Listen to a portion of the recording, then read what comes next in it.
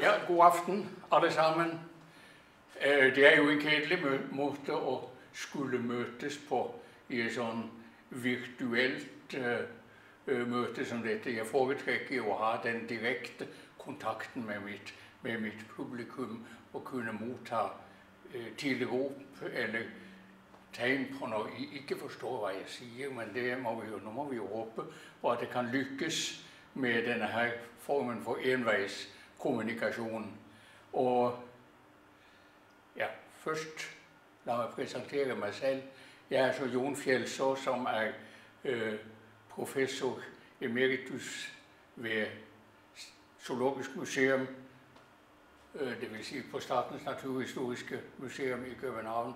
Og her har jeg så vært siden eh, 1971.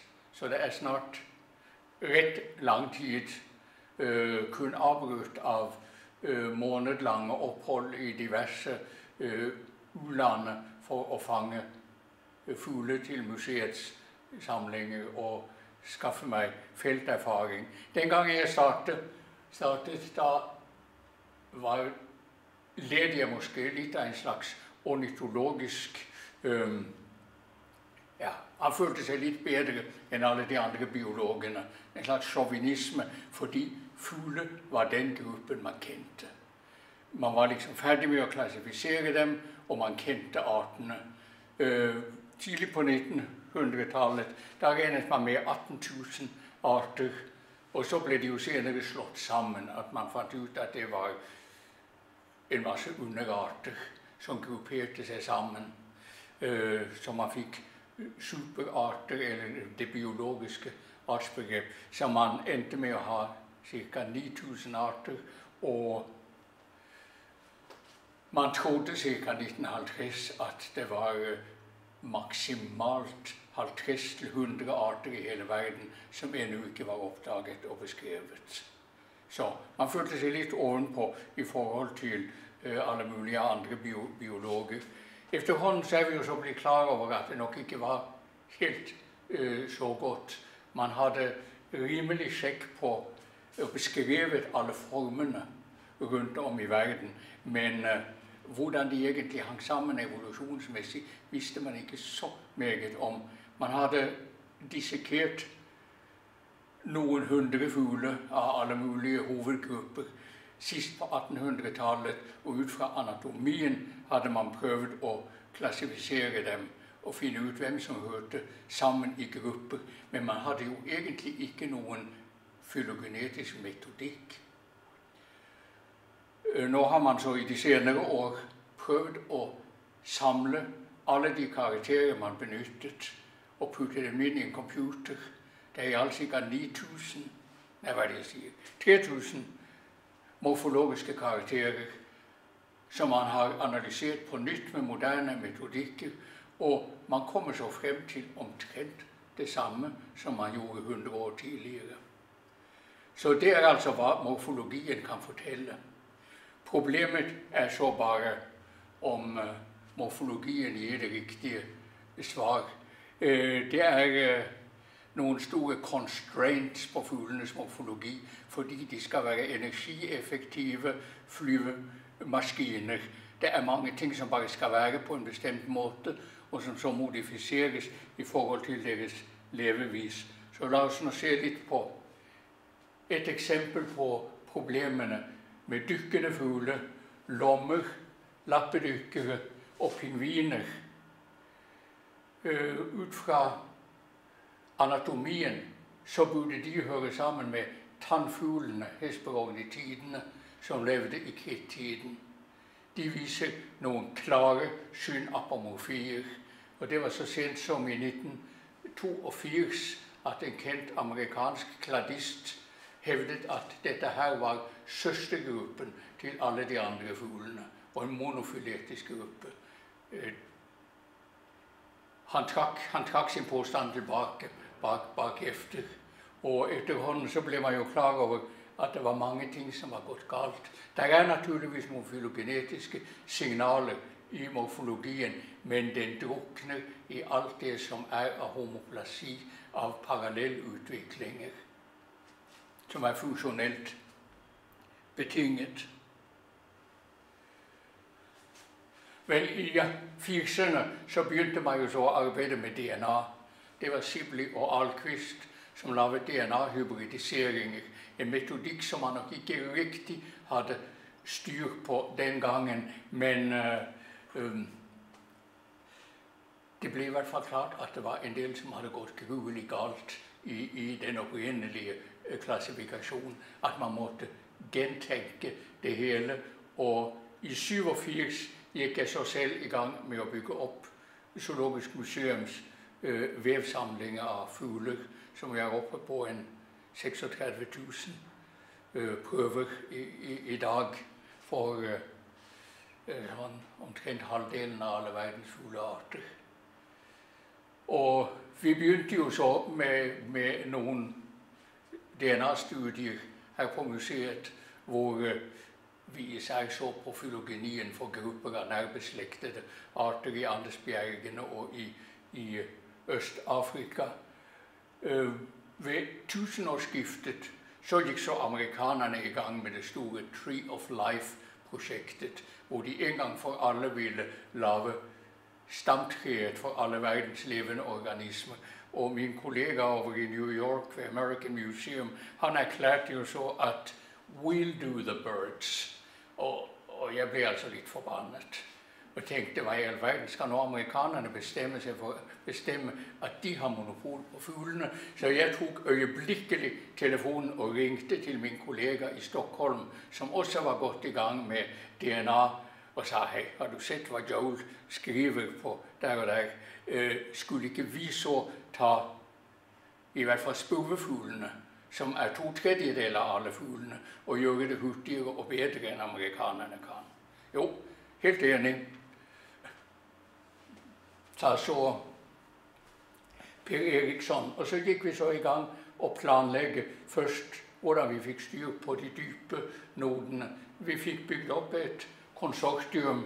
Vi kan se medforfatterne her jeg og Per Eriksson og så Les Christidis i Australien. Vi skulle jo ha sikre oss at vi hadde adgang til eh, vevsprøver av alle de australske og newzealandske fuglegrupper. Og så en rekke andre, især europeere, især i København og Stockholm.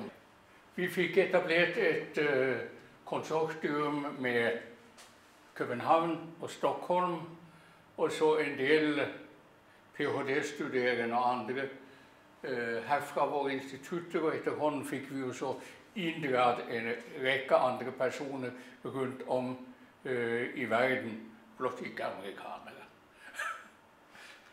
Så her har vi så holdet av medforfattere som har vært med i større eller mindre grad.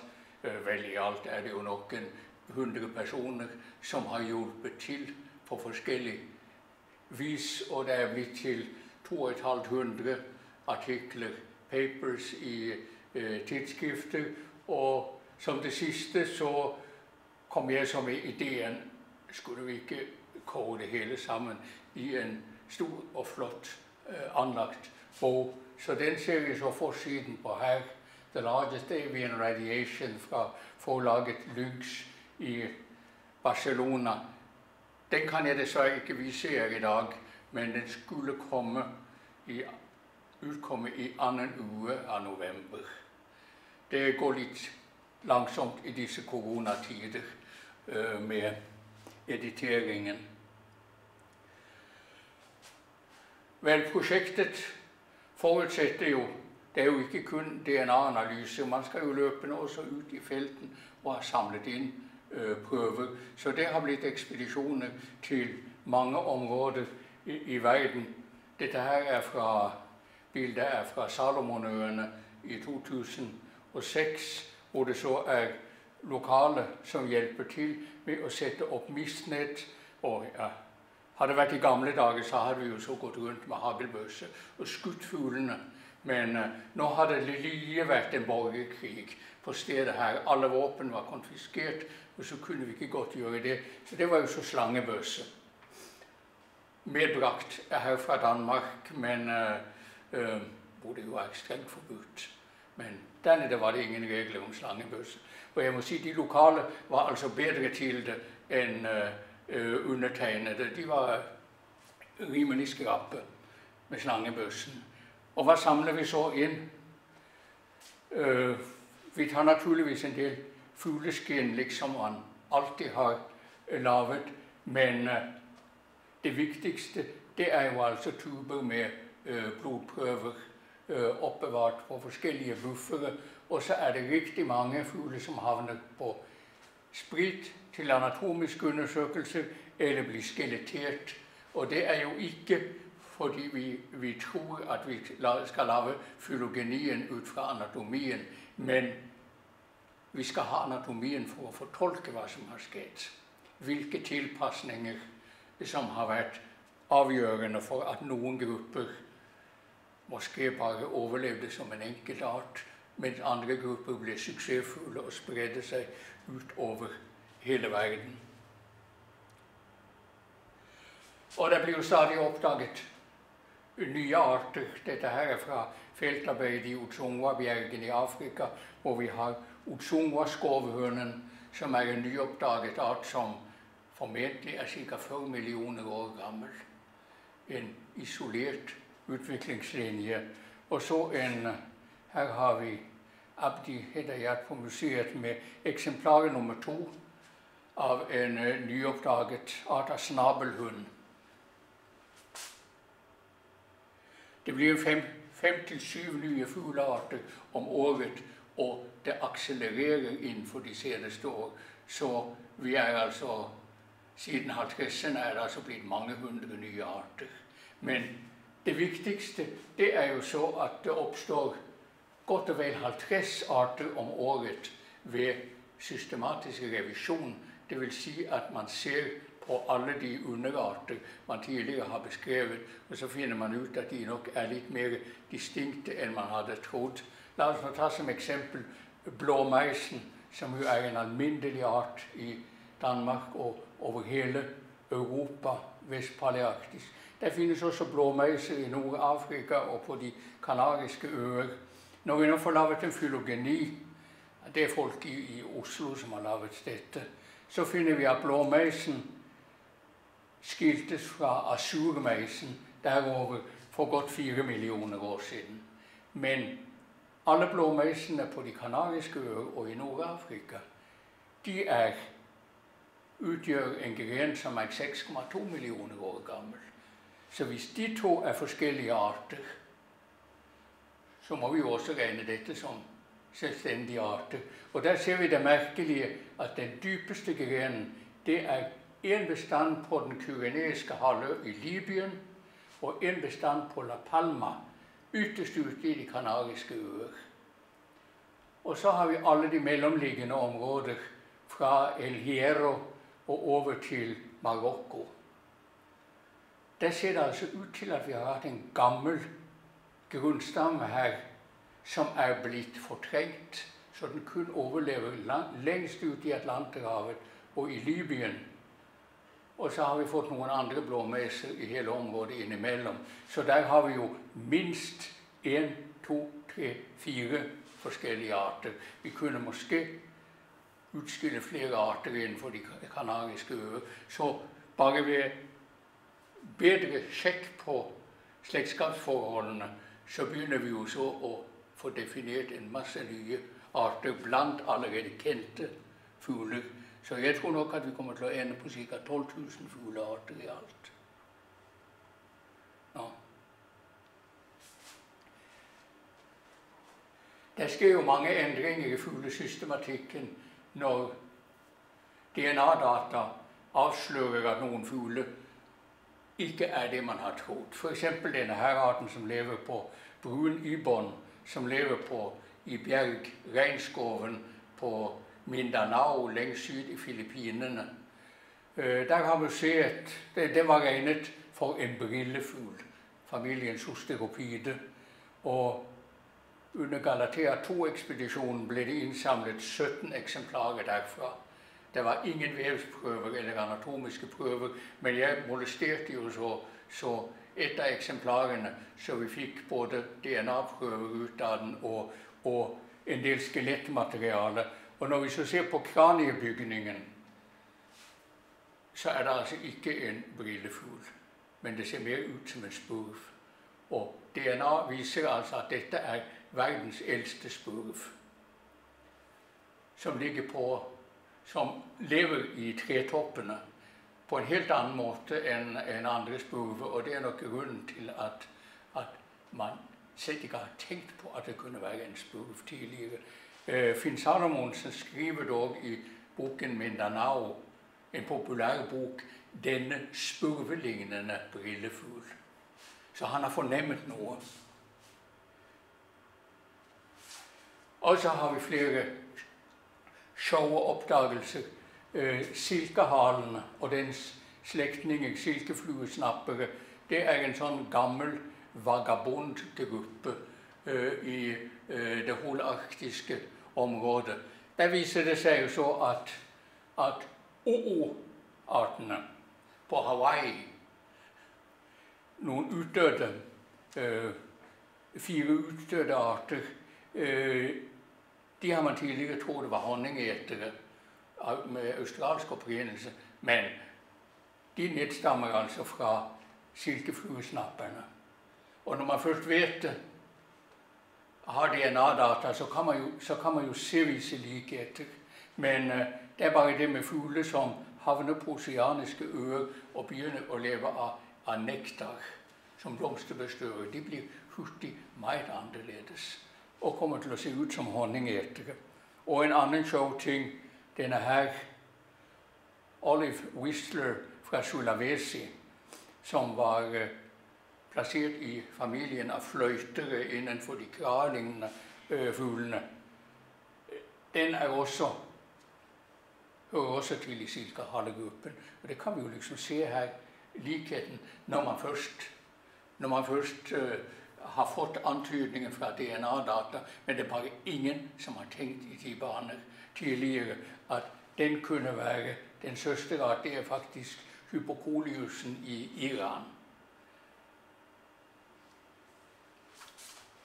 Og sånn skjer det jo altså riktig mange uh, sjove nyoppdagelser etterhånden uh, som gjør at vi får en mengde nye familier med én eller to eller tre arter som er sånn helt for seg selv og slett ikke hva man trodde de var opprinnelig.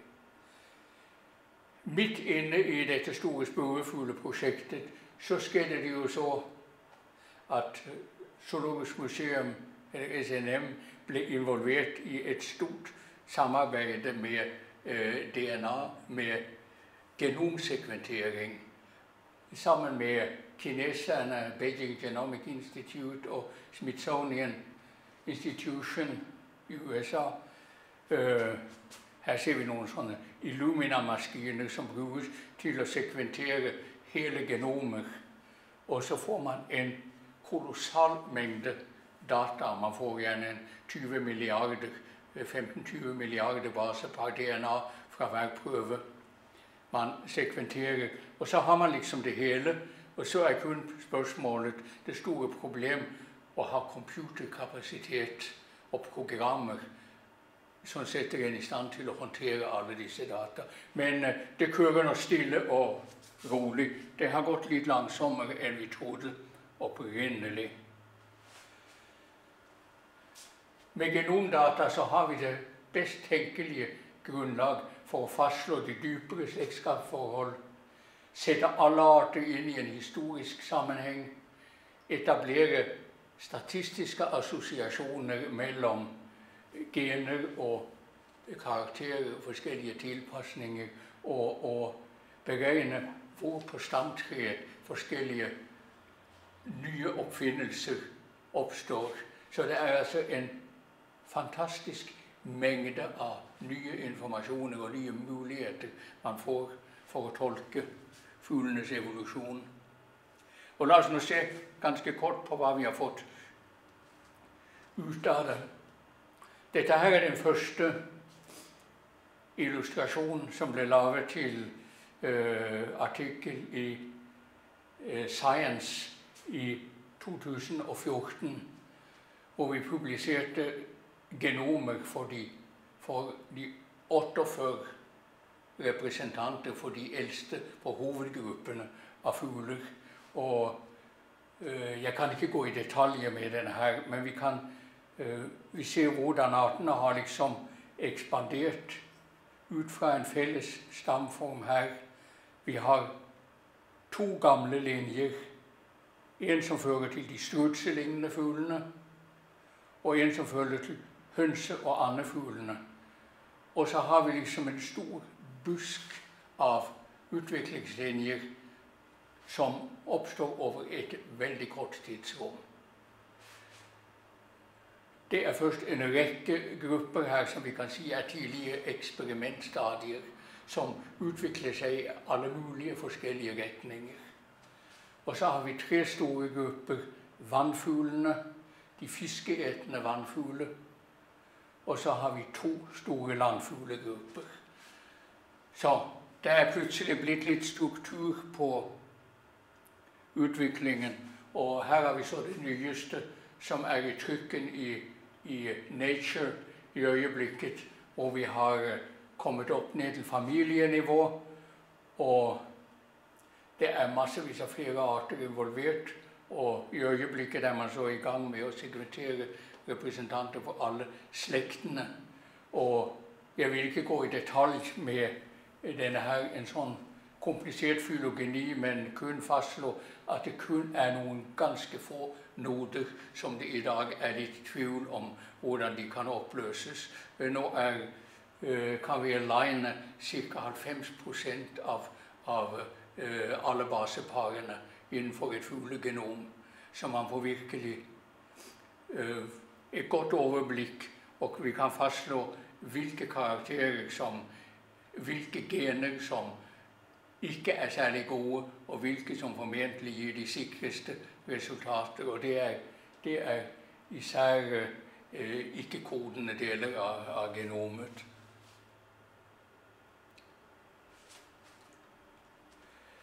I 2014 fikk vi jo så laget den første sånn uh, grundige kalibrering av alderen ved å benytte fossiler. Så her er så stamthet som det ser ut på en tidsskala, hvor vi har antallet millioner år. Her så de strutselignende og høns og andefuglene, de har så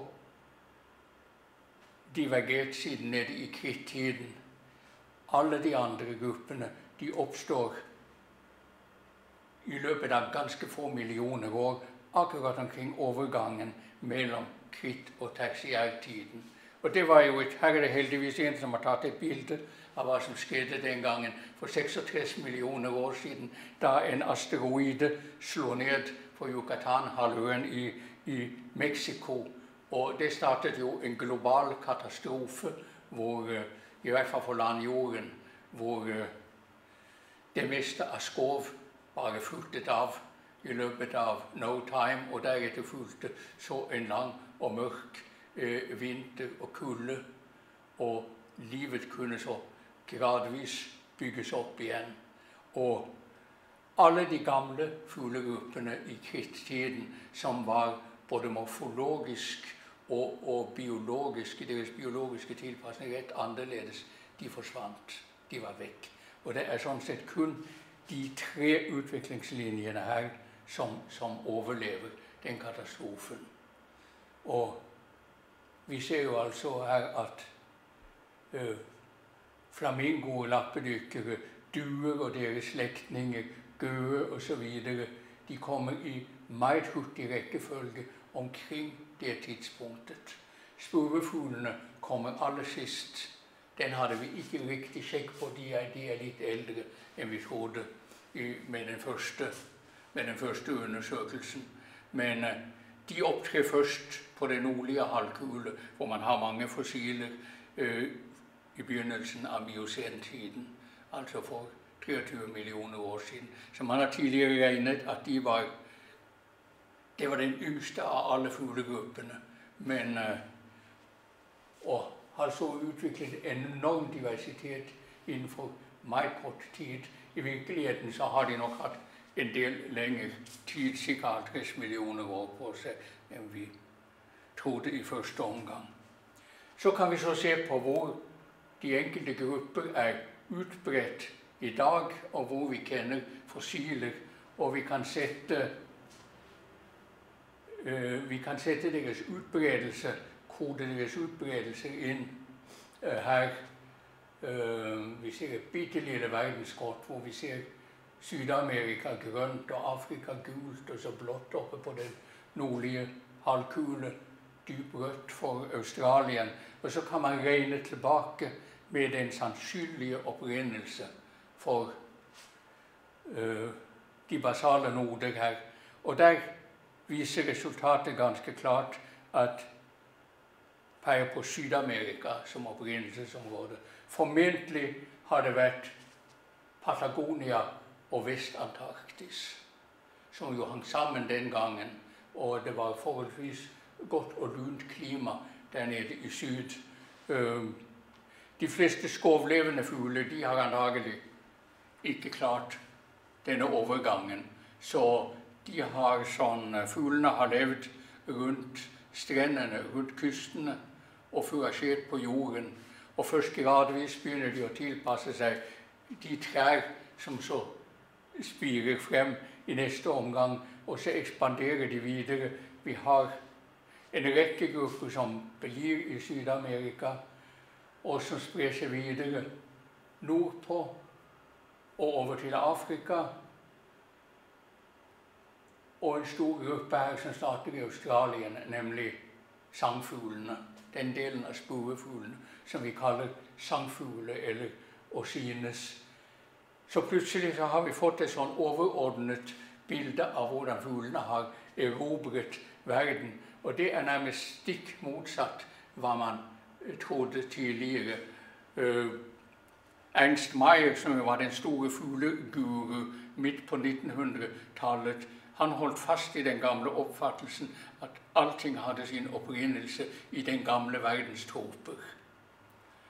Uh, og det skyldes egentlig ikke noen analyse, noen stringent analyse, men går nok egentlig tilbake til Adam og Eva paradisets havel og et eller annet sted i Orienten. Og så kommer det bare en masse sjøforklaringer om at disse merkelige gamle gruppene som vi finner i Australien og i Syd-Amerika, det er bølger av spredning som gikk fra den gamle verden og ut. Og de døde så ut i opprinnelsesområdet, så man finner dem kun ute i periferien i dag. Det var altså en stor sjøforklaring som vi i dag bare må si at den var, den var helt grunnleggende forkert. Så la oss bare hurtig se på disse her forskjellige gruppene. Hønse- og andefuglene.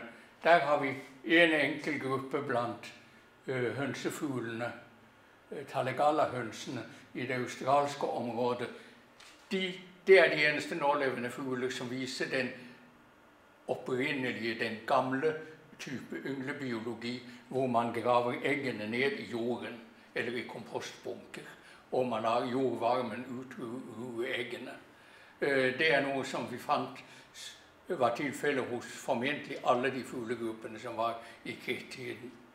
Men eh, og Det ser vi altså stadig vekk her, men ikke hos de andre hønser og andefugler.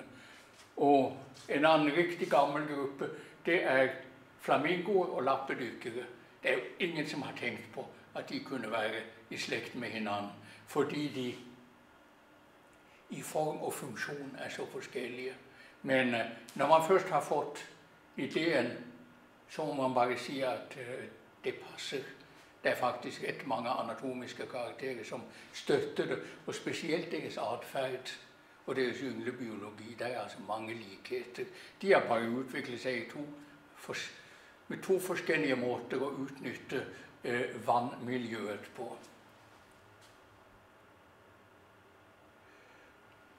Og sandhøns og mesitter i den gamle verdens troper i India, Afrika, Madagaskar Eh, det er grunnstammen. De har så gitt opphav til, til duene, som i første omgang har, har diversifisert på de oseaniske øer, og kun i, etter en lang tenkepause kommet inn i, i kontinentene. Og så har vi de såkalte nattfugler, altså nattravner og deres slektninger. Det er også en sånn tussegammel gruppe. Eller rettere sagt 35-36 millioner år gammel gruppe. Og ulenattravnene i Australien, de har så Eller denne morfotypen har så gitt opphav til seilere og kolibrier, som jo også har spesialisert seg i en helt annen retning til, til å bli nektaretere. Dette her er altså et annet tidlig eksperimentstadium i, i fuglenes utvikling. Og så har vi trane og og vadefugle, vademårefugle, er også en gammel utviklingslinje. Og vi har uh, hoatzinen, en enkelt sydamerikansk art. Den omtales titt som verdens merkeligste fugl. Den er bladeter og har eh, fermentering, fermenterer bladet i formaven og, og lever har en meget spesiell eh, tilpasning. Det viser seg jo nå at er, den har vært vidt utbredt. Det er fossiler fra Frankrike og Nord-Amerika og, og, Afrika. I dag lever den kun i Amazonasområdet. Men den er formentlig noe i slekt med, med vadefuglene. Eller vadetkanefuglene. Her har vi stamtreet på en ny måte med alle disse tidligere eksperimentstadier. Her og så har vi tre store hovedgrupper. Det er alle vannfuglene, de fiskeetende vannfugler, og en gruppe med slangetrane, falke, papegøyer og spurvefugler. De kaller man gjerne for austral avis den, den australe, den sydlige gruppa landfugler. Og så har vi afroaves, som eh, meget hurtig kom til å radiere i Afrika. Altså to store landfuglegrupper. Og det aller meste av verdens artsdiversitet den ligger jo altså innenfor den delen av stamtreet. Dette her, Det er grunnen til at jeg omtaler dette her nærmest som eksperimentstadiene. Ingen av disse gruppene ble til særlig meget. Og her har vi altså de marine rovfugler, fiskeetere og kaninetere.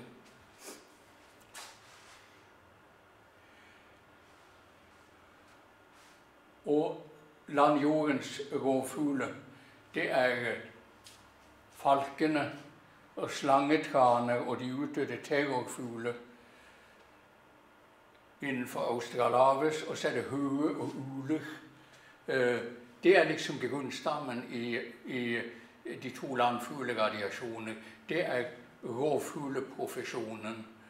Og det interessante så med uh, disse landfuglegruppene, det er jo altså de starter Når man først har begynt å gå på jakt, så skal man jage over noen store områder.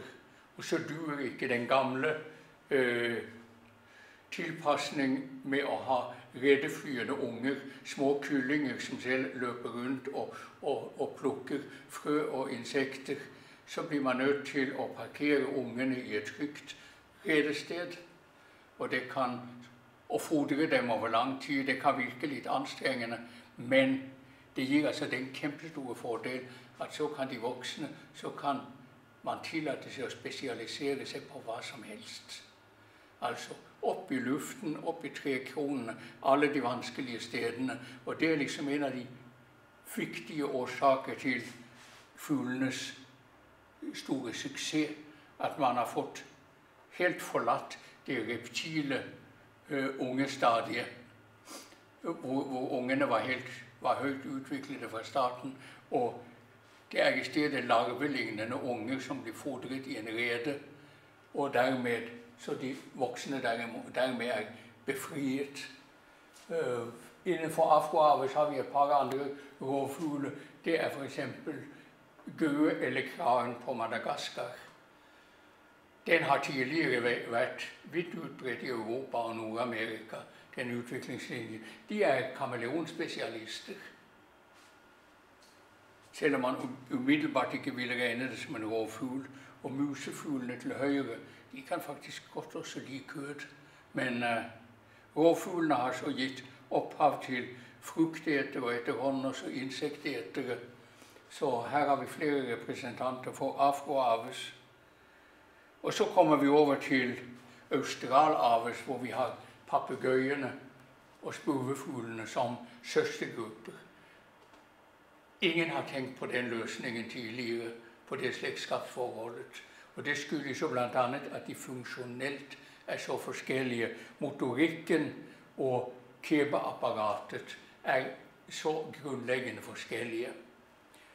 Her har vi en psykodaktylfot med, med uh, to tær bakover og to forover, så de griper, de klatrer langsomt rundt i vegetasjonen, mens spurvefuglene har en kraftig utviklet baktå, en såkalt anisodaktyl-fot, som er riktig god til å hoppe hurtig fra gren til gren og klatre på vertikale strå og grener.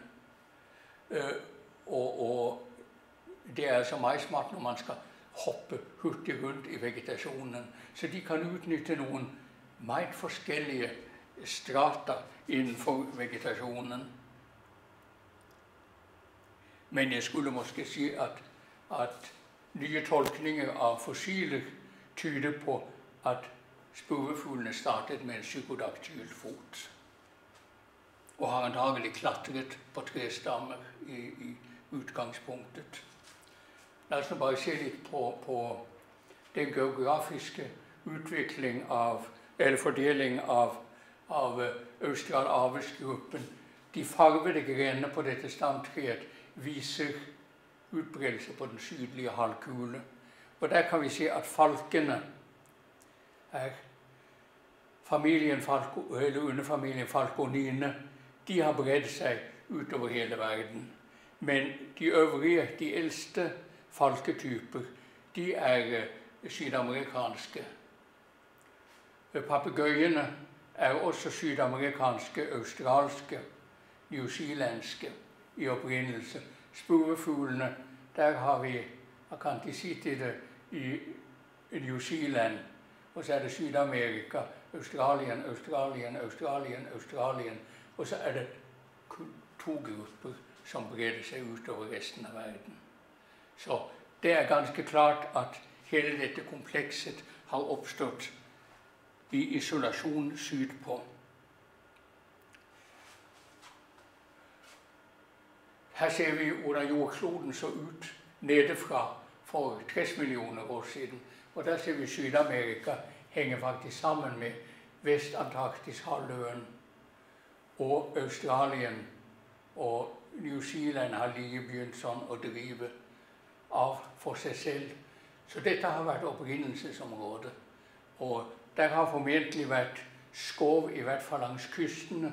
Det har vært varme havstrømmer rundt langs kystene der nede syd. Så dette er opprinnelsesområdet. Og avstanden til den gamle verden den har faktisk vært rett stor i utgangspunktet. Så det gikk lang tid innen de begynte å dukke opp på den nordlige halvkule. Og det er jo så et av de områdene vi har arbeidet riktig meget med. Det var især, eller i første omgang Knut Jønsson som arbeidet med detaljene med, med spurvefuglenes opprinnelse. Så på dette stamtreet så ser vi jo så de australsk-sydamerikanske grupper her. Og så er det to grupper.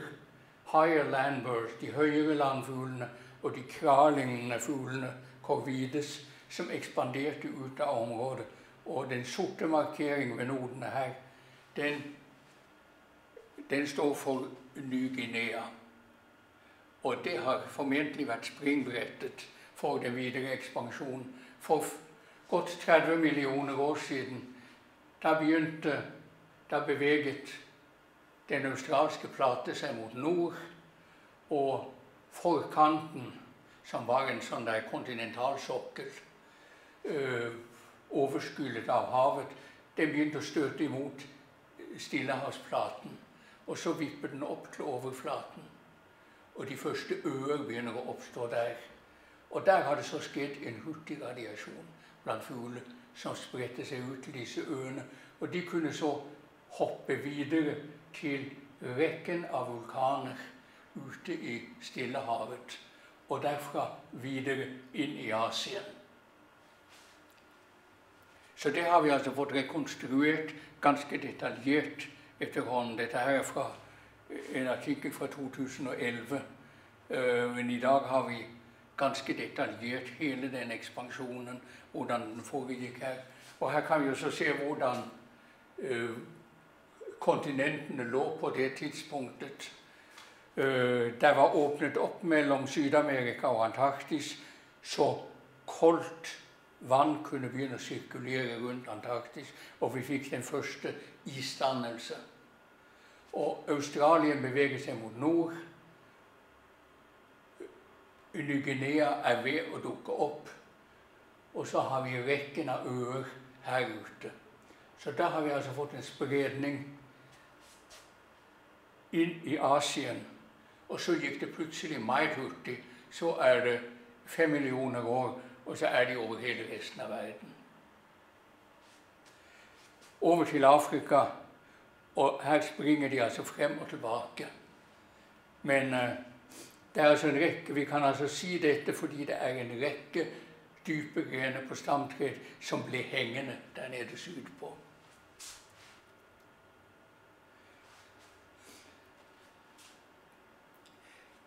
Under den ekspansjonen så skjer det noe som kalles for taxon cycles, som har vært omdiskutert, et omdiskutert begrep, men vi har etterhånden, takket være Knut Jønsson og, og andre, fått god skikk på, sjekk på evidens for at det virkelig foregår på den måten.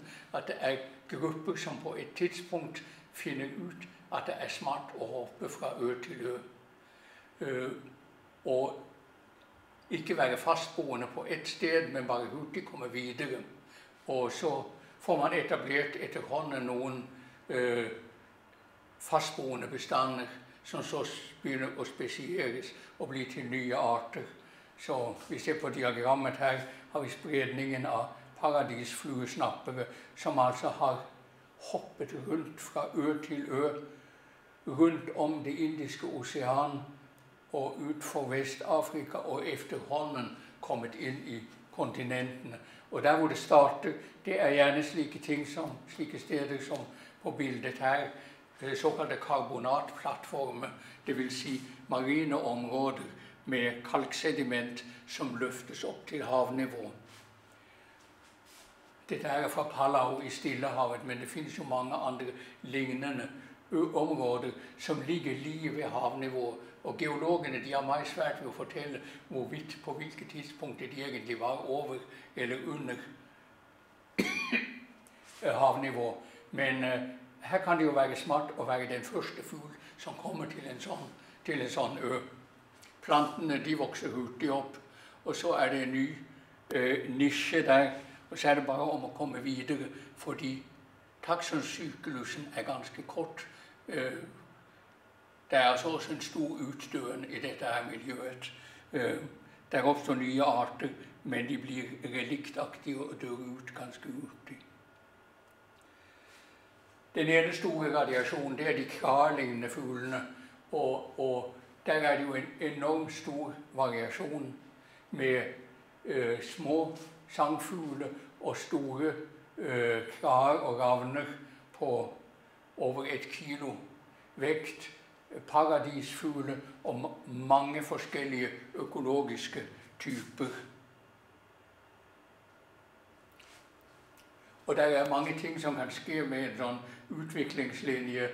Noen av dem, elleve familier av kravlignende fugler, overlevde som små reliktbestander som i, i syd, som især finnes i bjergene i, i Ny-Guinea.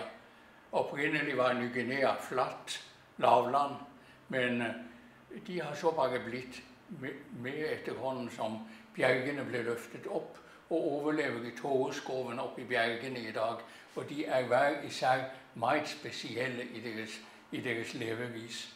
Så har vi noen som hurtig kom videre til Afrika og ut til Madagaskar, sånn som Wangaen her.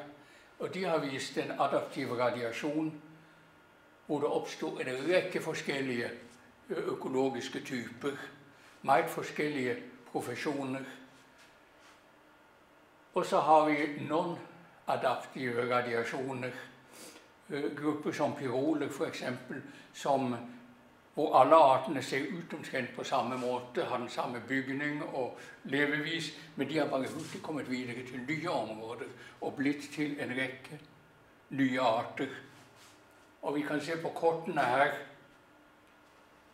hvis vi er i stand til å se detaljene, hvordan pirolene har ekspandert de 25 prosent av artene som utgjør de dypeste grenene på stamtreet, det vi kaller first quartile, de ligger i, omkring Ny-Guinea.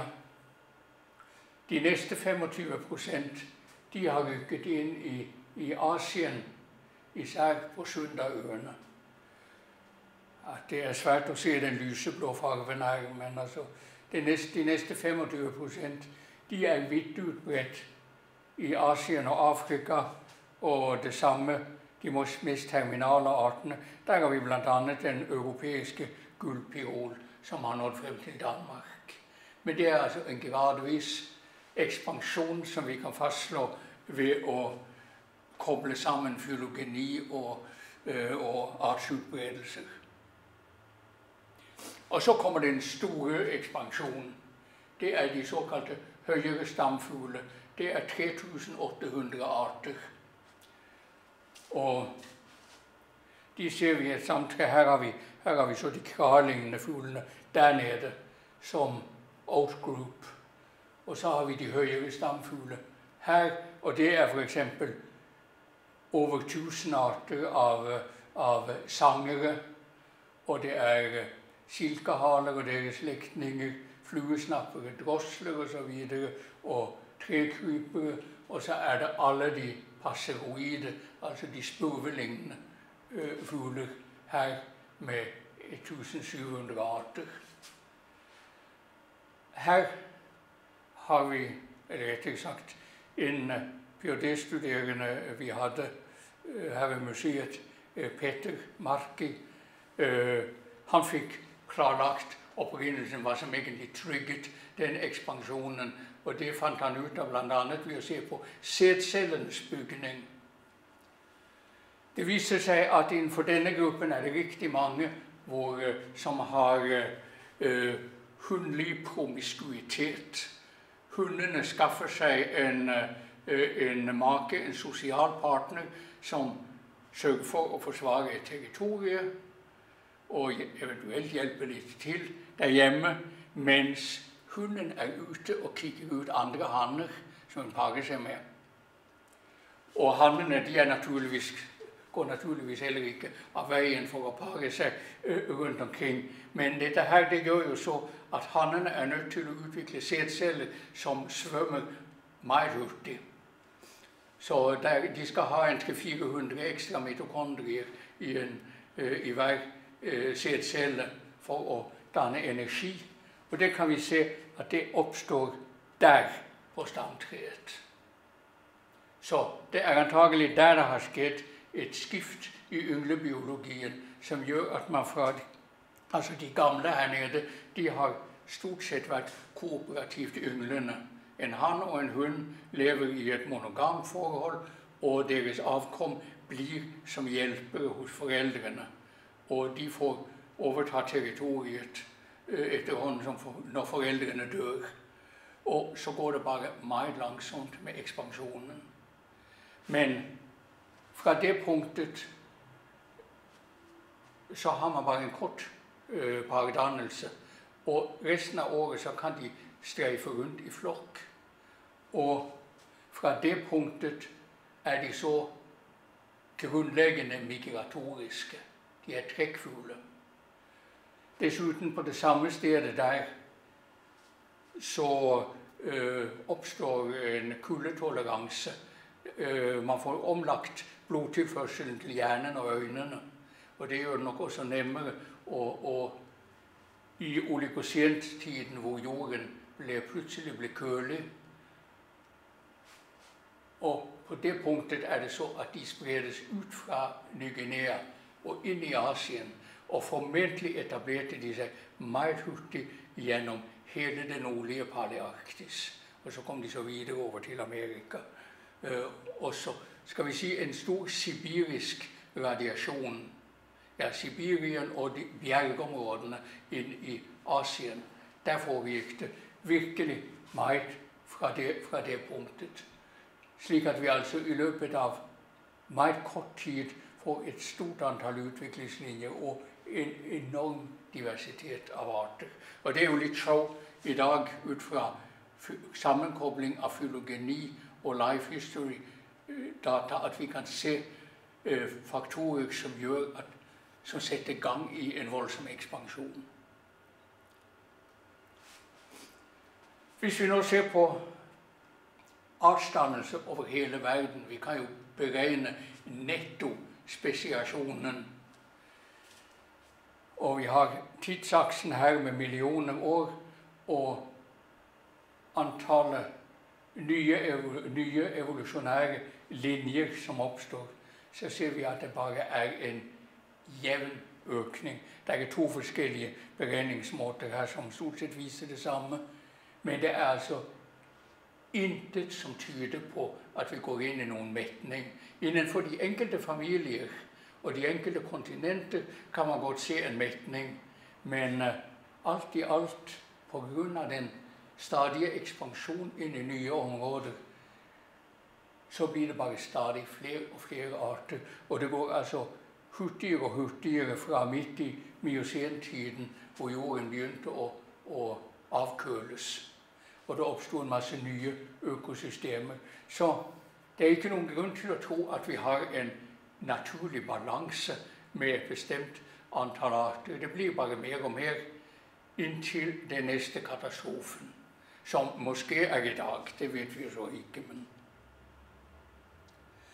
Og hvordan kan det egentlig skje? Her ser vi utviklingen innenfor en gruppe ovnfugler i Syd-Amerika. De eldste artene som går tilbake til midt i miocentiden, de ligger især inne i Amazonas-området. Noen også lenger syd. Øvre miocen er det stadig vekk Amazonas. Men når vi kommer opp i tidlig pleistocen, så skjer det meste i savannene syd for Amazonas-området. Og til dels i Andesbjergene. Og i pleistocen så kører de opp langs Andesbjergkjeden høyt oppe i, i Paramosonen. Og nå er det bare helt slutt i Amazonas. Der har vi altså bare gammel diversitet. Og nesten ikke noen ny spesiasjon. Så det hele flytter seg over tid inn i nye områder. Og også for ovnfuglene ser vi bare en fast stigning i artsantallet gjennom hele perioden. Ja, nå blir det enda mer komplisert. Her har vi så fylogenien over, over alle 6000 spurvefugler. Og de enkelte grener her de er så farvelagt etter hvor hurtig artsdannelsen skjer langs de enkelte linjer. Og opprinnelig, tidlig, så var det en sånn moderat, hurtig artsdannelse. Det kan jeg måske knapt nok se, disse linjene uh, her oppe. Men uh, så går det for de fleste familier går det bare langsommere og langsommere. Etterhånden så er det altså bare noen få gamle arter som overlever. Men innimellom er det sånn noen familier, ovnsfuglene som vi nettopp så, der går det hurtig. Og de spurvelignende arter som ble i stand til å virkelig utnytte diversiteten av kullhydrater, de har vi her nede. Der går det bare enormt hurtig. De har en rekke nye ressurser. Og så er det noen rødfargede grupper innimellom. Det er, det er de som har gått, som har en eksepsjonell hurtig artsdannelse i pleistocentiden. Og det er især i oseaniske øer. Og det kan altså henge sammen med at havnivået har sunket i pleistocentiden. Og så begynte det å bli mer nemmere å sprede seg fra ø til ø i oceanene. Og så er det plutselig noen som bare får den, den strategien at nå flyr vi utover havet, og så ser vi om vi ikke finner et eller annet. Så der er Galapagos finker og, og brillefugler, f.eks., hvor det går enormt hurtig.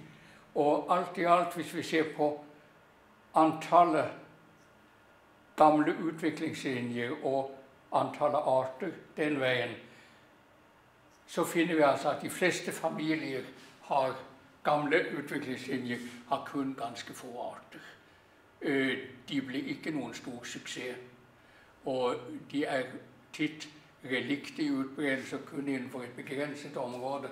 Og det er noen forholdsvis få grupper som ekspanderer en enkelt gammel utviklingslinje som så er oppe på 1500 arter. Så det er en enorm forskjell mellom grupper som går i stå, og noen få begivenheter som trigger ekspansjonene. Hvis vi nå ser på den samlede diversitet utover verden Det ser vi her på dette kortet presentert på den måten at få arter det er de mørkeblå farger, og det røde det varmeste, det er der hvor vi har riktig mange arter. Øh, det er et mønster som ligner på det vi finner for alle fugler, eller for pattedyr, eller amfibier, eller andre grupper. Og man har liksom antatt at det var en slags balanse med områdenes produktivitet. Det er altså solenergi og tilgjengelighet av vann som bestemmer det. Vi ser kurven her ute, og fordelingen den viser en topp som er presis på ekvator. Så antagelsen har jo vært at det er energien som bestemmer hvor mange arter vi, vi har i et område. Men uh, det passer bare ikke helt. Hvis vi sammenligner artsantallet i hver enkelt hvert enkelt område, hver enkelt piksel forkortet her med eh, data for produktivitet, så har vi altså noen store avvikelser med noen områder hvor det, går, hvor det er for få arter, og så har vi noen områder med altfor mange arter. Og vi kan se oppe på de høye breddegrader så er det stort sett en lys farge, dvs. Si at det er balanse. Men tropiske bjergområder skiller seg helt markant ut ved å ha ekstraordinært mange arter. Så når artsantallet blir ved med å øke over hele verden, så skyldes det altså især dynamikken ute i de oseaniske øer og oppbyggingen av store antall lokalendemiske arter i tropiske bjerger. Bjerger på høye breddegrader, det er annerledes det er eh, sinkområder. Altså steder hvor det er svært å klare seg. Bl.a. fordi de, det er klimasvingninger som kommer inn og visker tavlen ren med mellomrom. Men i de tropiske bjergene innenfor 20-25 graders bredde, der skjer det en akkumulasjon av arter. Det er noe som Karsten Ravek sikkert vil gå i meget mer i detaljer når han en gang holder sitt foredrag her. Her har vi noen få eksempler på sånne grupper med nærstående arter som erstatter hverandre i forskjellige bjergområder. Solfugl i Afrika, spisshaler i Andesbjergene, og så har vi krattfink i Andesbjergene. Her kan vi se forskjellige farvede fugler som erstatter hverandre meget markant fra sted til sted innenfor bjergkjeden. Så vi får et voldsomt stort antall arter utviklet stort sett innenfor Pleistosentiden. pleistocentiden.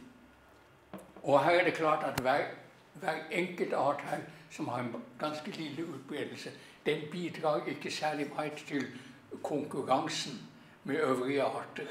Fordi de altså erstatter hverandre lokalt. Og Derfor kan vi bli ved med å få flere og flere arter inn i området. Eh, Pga. klimastabiliteten her, ekvator så blir altså hver art hengende på ett sted. Og dette er så et kort fra vår seneste publikasjon i Science eh, siste år over verdens bjergområde. For hvert enkelt bjergområde så ser vi på antall arter, hvor mange av dem som er unge arter, og hvor mange som er gamle arter. Og der ser vi at vi har et sammenfall mellom høy artsdannelse og høy overlevelse av gamle arter. I noen få områder, især i den tropiske del av Andesbjergene og i Sydøst-Asien. En rekke ja, overveiende gamle arter også i, i kystbjergene i Sydøst-Brasil og i, i Afrika og, og Ny-Guinea. Men det er altså bjerget tett på ekvator som er de store artsdannelsesfabrikker. Og vi kan også se at det liksom er ekspansjon ut fra artsdannelsen, ut fra bjergene, som driver mye av artsdannelsen. Uh, resten altså også ut, utenfor bjergområdene.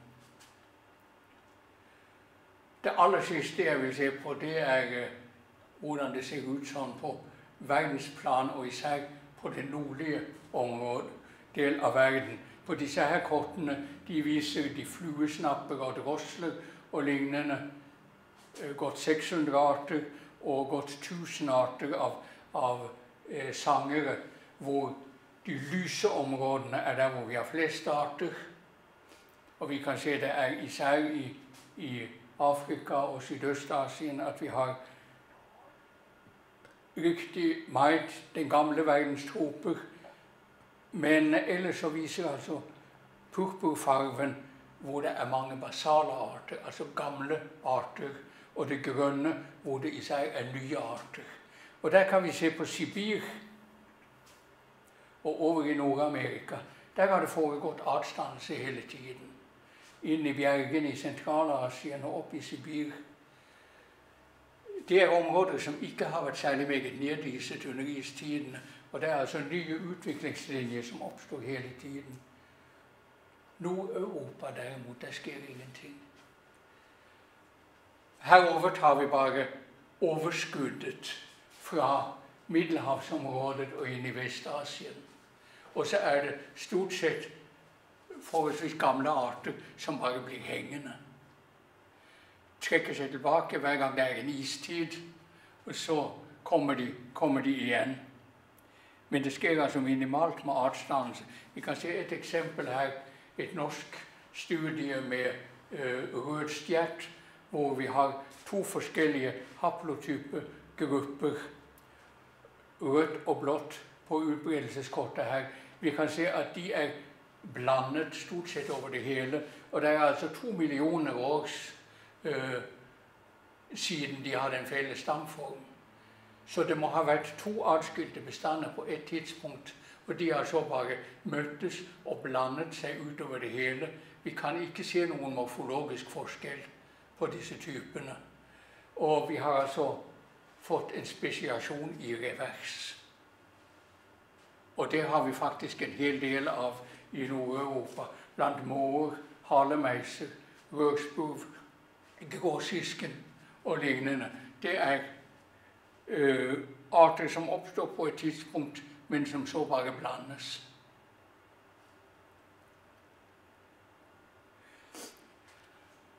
Altså, Det skjer meget litt i Nord-Europa, men vi kan jo så glede oss over at det er, vi også har noen sånne riktig gamle utviklingslinjer. Uh, og Måske blir det litt mer spennende å se på lappedykkere og lommer eller fiskeørn, fuglekonger, silkehaler, skjeggmeise, hvis vi vet at det er noe som egentlig burde ha dødd ut for uh, titall millioner år siden.